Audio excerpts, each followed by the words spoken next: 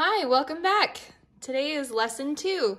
I hope that you have mastered all of the things in lesson one and you're ready to move on. So today we get to learn about the different note names, which is exciting because we're learning more and more. So um, if you'll notice on the top of your page, this is page 16, we are looking at the key, the keyboard here, and the notes in, in music are A, B, C, D, E, F, G. So seven notes, and they repeat over and over and again, okay, just in a pattern. And the easiest way to find which notes are where is by looking at the black keys. And I'm gonna teach you something that's not in the book right now, which is just a really easy way to learn these. So we're gonna call these two different sets of keys, okay, the two black keys and the three black keys, different houses, okay? So the first house, this is your dog house, okay? And the second house, the bigger house, is your people house. So here's my dog house. Inside my dog house, I have the dog, which is D. Okay, so here's my dog. Okay. At the front of the dog house, you got a cat. Okay, so cat's at the front, dog's inside, and in the back of your dog house, you have a large elephant. Okay, so Cat, dog, elephant are all part of your dog house. Cat, dog, elephant. Okay. Now, in your people house, you have a front door, which is F. You have a back door, which is B. And inside your people house, you have grandma, G, eating an apple, A. Okay. So, we're going to go ahead and practice that for just a second. Okay, I'm gonna go through it one more time really quick. In your side, your doghouse, you have your dog. At the front is a cat, and at the back is an elephant. So C, D, E. Okay, here's your people house. You have the front door, the back door, grandma eating an apple. Okay, so F, G, A, B. Okay, so I'm gonna test you for a second. I want you to play the doghouse. Now play the people house. Now I want you to play the elephant. The cat.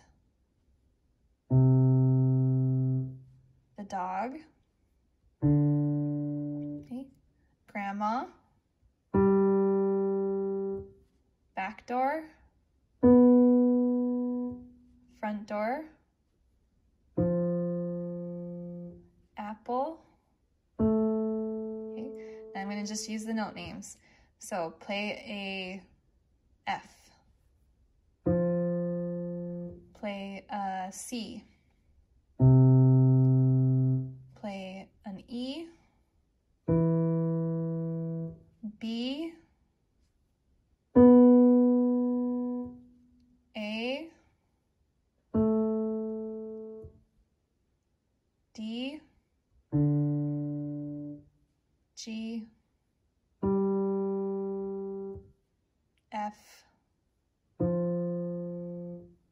C. Okay, all right, so that's just a little bit of practice on that. Now, if you notice, um, I have a lot of sets of dog houses and people houses, and they're all the same, all the way up and down the piano. So starting from the bottom, this black key is kind of a spare on his own. but he's the same as this black key.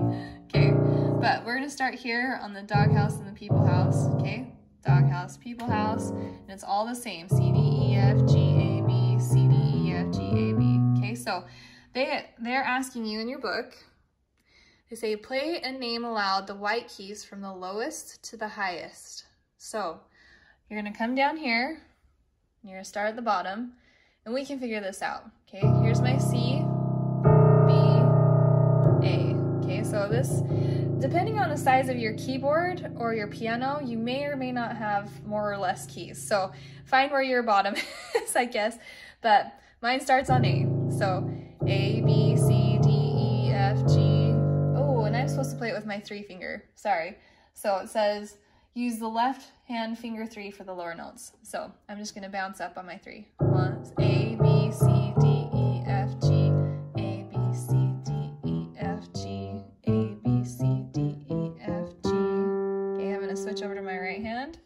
playing with my three finger.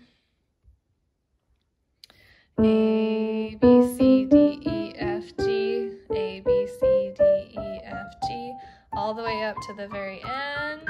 A, B, C, D, E, F, G, A, B, C. Okay, so you can go ahead and do that on your own.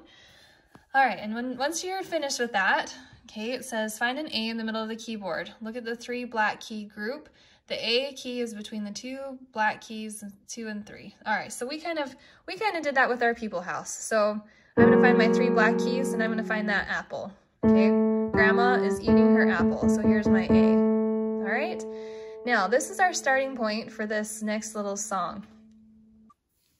Okay, I'm gonna go ahead and show you where we're starting. Okay, and you're gonna be playing with your three finger on your right hand um, this whole time. So we're not using our other fingers, we're just bouncing up the keys.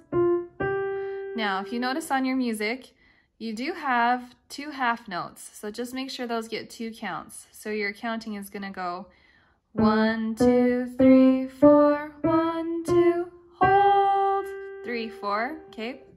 One, two, three, four, one, two, three, four. All right, so once you've got that, I'm gonna play the duet and it actually tells you to play and sing at the same time. so I'm not the greatest singer, but I'm gonna sing this while we play the duet just so you can hear how it goes. And then I'll play the duet again just um, with the music alone so that you can practice playing it just on your own. So here's how it will go.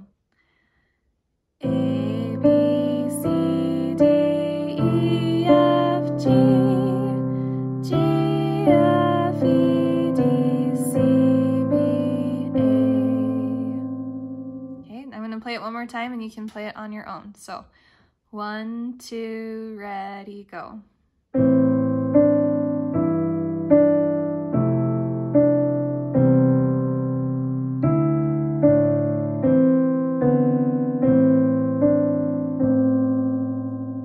Now, on this, at the very end of this song, you'll also notice that it has what's called a repeat sign. So we want to play this twice in a row using that repeat sign. A repeat sign is a double, double bar line with the two dots, okay? And that just means play that whole section over again. So we're gonna do it right this time. I'm gonna play through the duet part twice, so you play through your part twice. One, two, ready, go.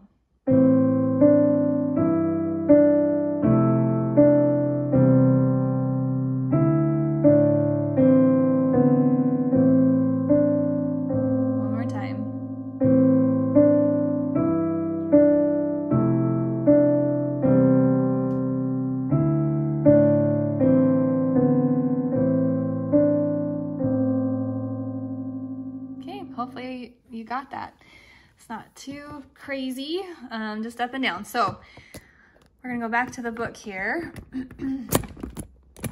Sorry, my transitions are horrible. All right, so looking at this next page, all it's telling you is to look at where C, D, and E are. Okay, these are, as you're beginning to play the piano, these are pretty important little keys, C, D, and E. So it's just telling you that what you're gonna do is you're gonna start in the middle of the piano. You're gonna use your right hand your two, three, and four fingers, and you're just going to play simultaneously the C, D, and E, and you're gonna find them in the middle of the piano, C, D, and E, and you're gonna move up, and then you're gonna move up again, you're gonna move up again, okay, and then you're gonna move down using your left hand, same thing, two, three, and four finger, two, three, and four, and you're going to place them on C, D, and E. piano.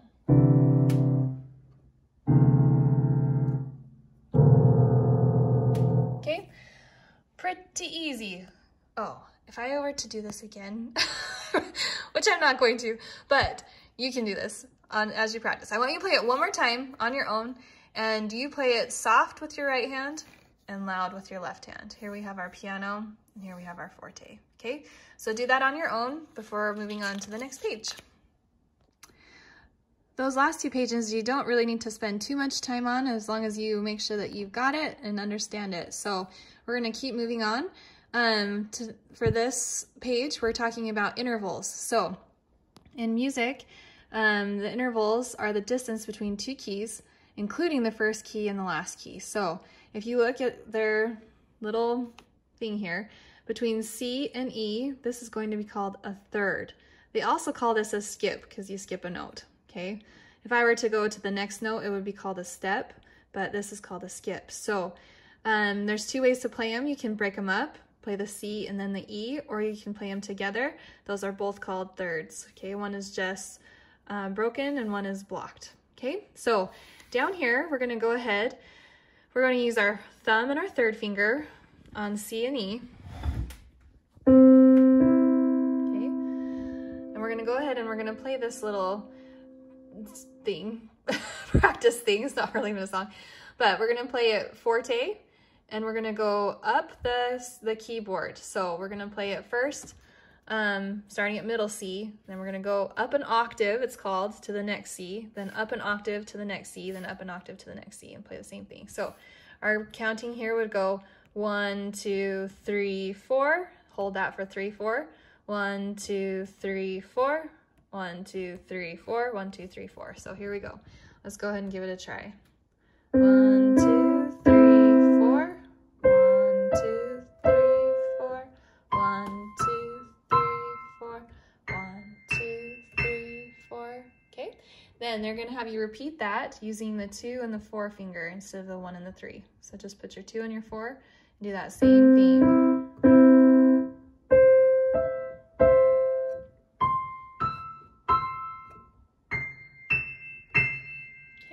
And then you're gonna go ahead and you're gonna start with your left hand and your left hand is gonna do the same thing. You're gonna start here with your three and your one. So one is gonna be on E this time, three is gonna be on C, and you're gonna go lower. So I'm gonna go down. Da, da, da.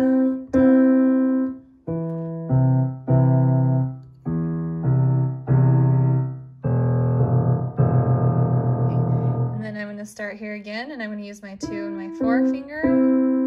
One, two, three, four. One, two, three, four. One, two, three, four. Okay. All right. Then we get to get to a real song, Merrily We Roll Along. So your hand positioning for this, you're going to have your left hand with your thumb on E and your right hand with your one finger on C. So go ahead and position your hands. Your right hand is going to play first, this whole top, and then your left hand is gonna come in second. So these are split right now. So right hand first, left hand second. So um, if you'll notice, we have our counting will be one, two, three, four, one, two, three, four. Hold it for two. One, two, three, four. One, two, three, four. One, two, three, four. One, two, three, four. One, two, three, four. One, two, three, four. Okay. All right. So I'm going to demonstrate this song, um, your part first, and then we'll get to do the duet. So starting here, I've got my three, two, one on the E, D, C with my right, and I've got my one, two, three on the E, D, C with my left. Okay, so I'm starting with my right. So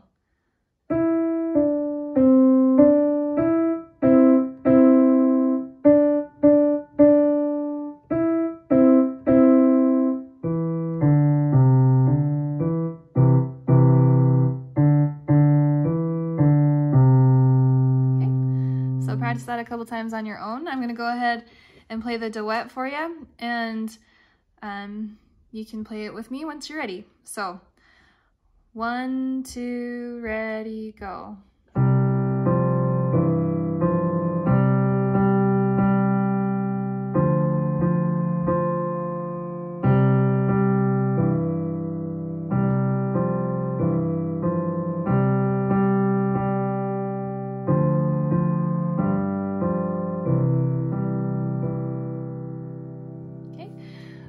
Once you've mastered that with the duet, then you can go ahead and move on to the next page. On this next page, we're going to be talking about the F, G, A, and B keys. Okay, so says begin in the middle of the piano, playing softly, piano. Using the left hand fingers, five, four, three, two, play all the F, G, A, B, C other, going down, then up the keyboard, okay? So I'm gonna find with my two, three, four, and five fingers. I'm gonna find the B, A, G, F. Okay, that are right here. Back door, apple, grandma, front door. Okay, and I'm just gonna play those and do it again down the piano. Oops, and I was supposed to play that softly.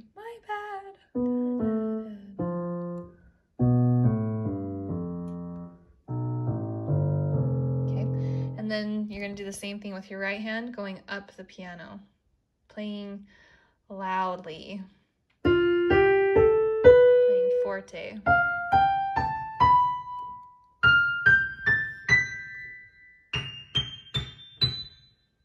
Okay. All right, then it says begin in the middle of the keyboard, use left hand fingers three and one to press the damper pedal and play F and A broken, then blocked, going lower and lower down the keyboard, lower and lower down the keyboard, playing forte.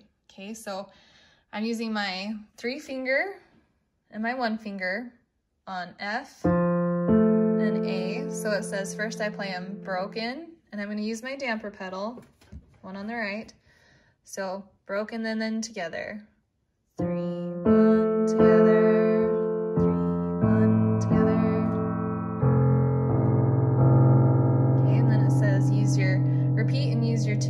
Four mm. fingers.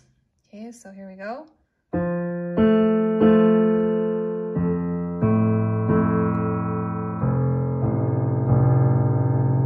Okay, then I'm gonna do the same thing with my right hand. I'm gonna start with my one and three fingers on F and A, front door and apple.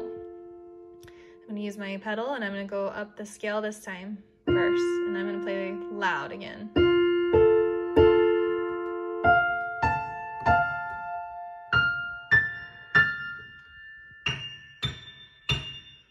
Go back down. Do I go back down? So was I supposed to do that on the other one? no, I think we can just go up. Okay, then you're gonna repeat with your other hand. Sorry, I should really read it closer. Using your two and your four fingers is what you're repeating with. Okay. All right, this next page, you're actually, um, you're gonna play in a different spot, the same song, Merrily We Roll Along. Now when you move um, the same song into a different spot on the keys, that's called transposing. You're going from one key to another key. So, um, and we'll talk about that more later. But here we have the first introduction to a measure, okay? So a measure is a group of beats and measures within the same piece usually have the same number of beats. Bar lines divide the music into measures, keep the rhythm flowing smoothly over the bar lines. So here's our example.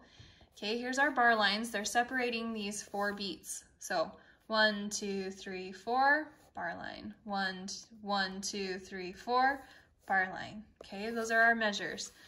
So it's asking you how many measures are in Merrily We Roll Along and how many beats are in each measure. So looking down here, you can count the measures.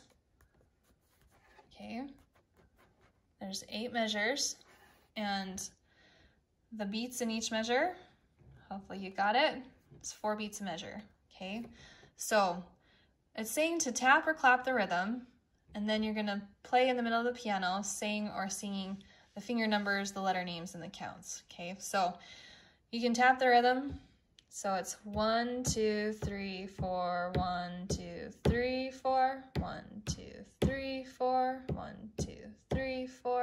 one, two, three, four, one, two, three, four, one, two, three, four, one, two, three, four. Okay? All right, now we're gonna go ahead and play it. And I'm gonna let you do the different variations of how to play it, but here's, here's how we start it. I'll play one through. You're gonna go ahead and put your fingers on the F, G, and A with the right hand and the F, G, and A with the left hand. Okay, so starting kind of in the middle of your piano. Okay. All right. So I've got my,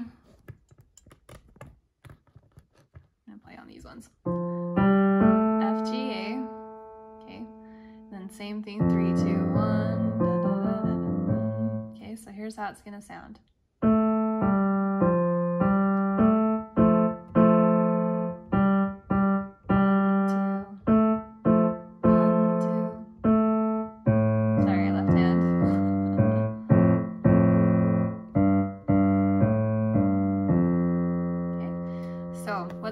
Do is go ahead and say the finger numbers as you're playing the first time, then say the letter names, and then say the counts. So that's a little assignment for this lesson to go ahead and do that. And um, we can move on.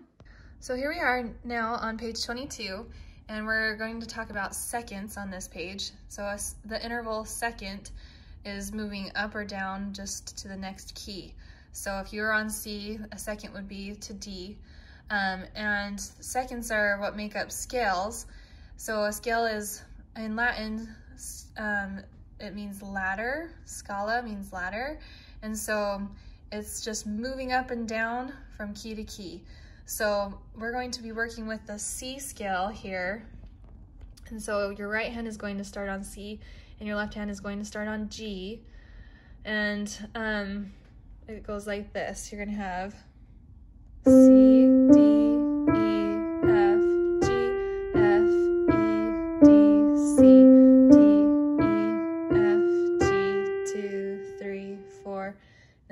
hand continues.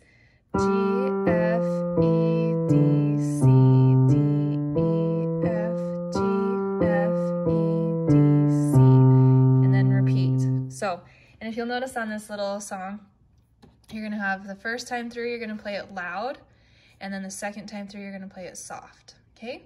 So this is something that you can work on this week every day um, or for however long you work on this stuff from this lesson. Um, this is pretty simple, but it's a good warm up. It gets your fingers to be exercised. So um, this next one is also kind of a warm up or a finger exercise, and it's talking about thirds or skips. And so a uh, third would be from, you know, like from C to E, like we talked about in the last song.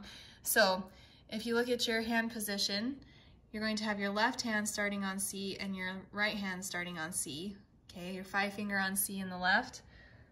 Okay. Okay. And the same with your right. You're going to have your. Okay. So this song goes one, two,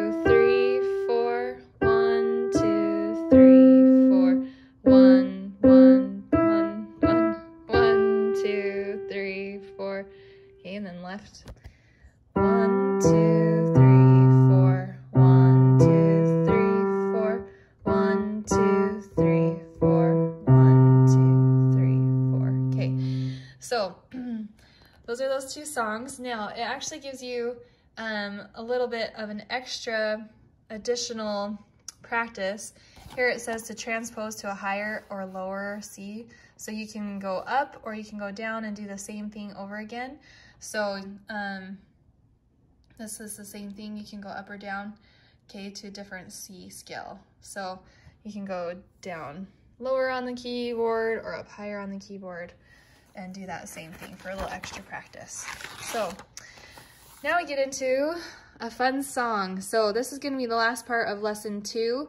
Um, we are going to learn Ode to Joy and it's uh, has a duet part, so we'll be doing that together as well. So um, up, at up at the top, it's going to teach you a little bit about musical form. So in, uh, music is kind of like a poem. Poetry has different forms and different rhythms and things like that. And so music is the same thing. Um, they'll have different, different melodies um, in different orders and things like that. So it says the overall structure or plan of a piece is called musical form. In Ode to Joy, section A, measures 1 through 4 can be labeled A.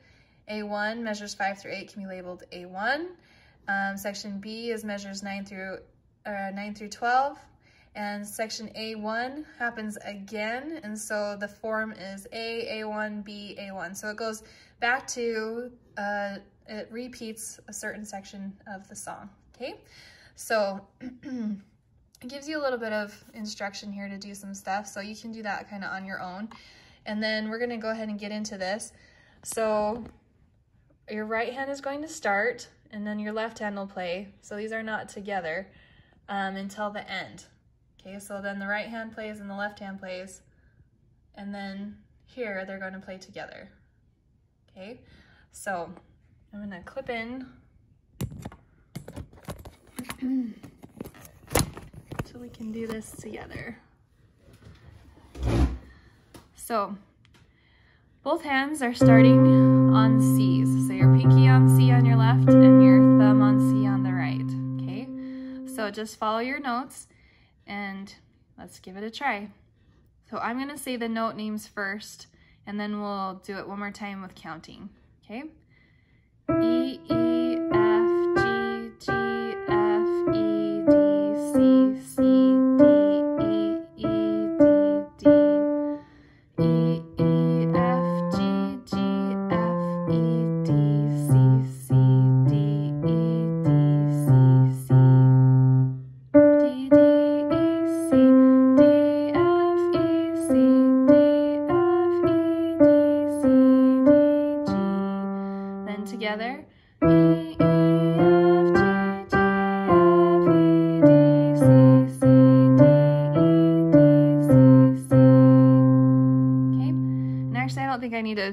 timing on that. Let's just go ahead. I'm gonna play the duet part um, and give it, we'll give it a shot, okay?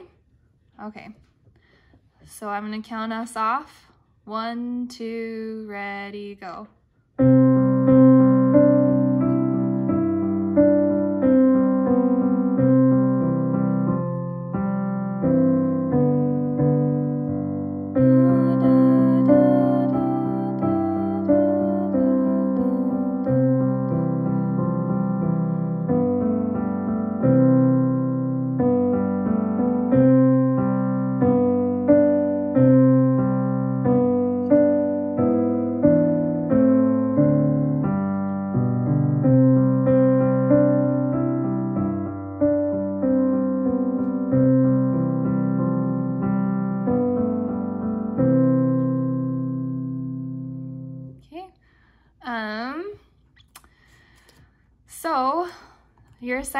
Is now to practice those things from these last few pages that we did this, this lesson.